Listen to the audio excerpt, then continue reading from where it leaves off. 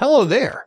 Welcome back to 4DDiG. Do you have the problem which the SD card is corrupted or the dead end and it needs recovery after shooting tons of stunning video and photos? Don't worry, we're here to help you. We will introduce three methods to fix the troubles. When the SD card is corrupted or cannot be recognized, we should try to repair first. To fix corrupted SD card, first you can use command prompt. Insert the corrupted SD card. Check your SD card letter. Mine is F. Press Win and R keys. Type CMD admin to open the command prompt in admin mode.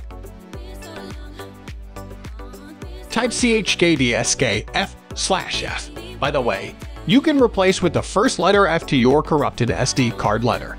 This command will check and repair any errors in the SD card. Press enter. Then you can check the SD card to see if your data is there. The second one is to assign the drive letter. This method is going to assign new letter to your SD card. Make sure your SD card is connected to your computer. Right-click this PC or my computer. Click Manage and you will see the computer management. Find the storage, click Disk Management. Right-click the drive letter that you want to assign under the volume list, and click Change Drive Letter and Paths. Click Change and select the letter you like. Then click OK. You will see the warning prompt and click Yes. Now the drive letter has been assigned, and you can add the SD card.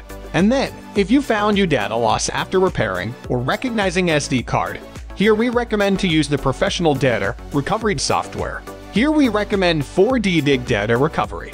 With top performance and security and efficiency, 4DDiG can help you recover most of your files with only one click. Let's try it now.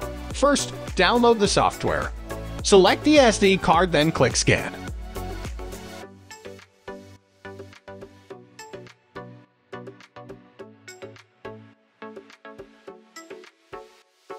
Find your target photos. Select it and then click Recover. Then select another path to save the recovered files and photos. Click Recover and you will find your photos back. Alright, we hope you guys enjoyed this video. And if you like it or found it helpful, please leave us a thumbs up and don't forget to subscribe to us.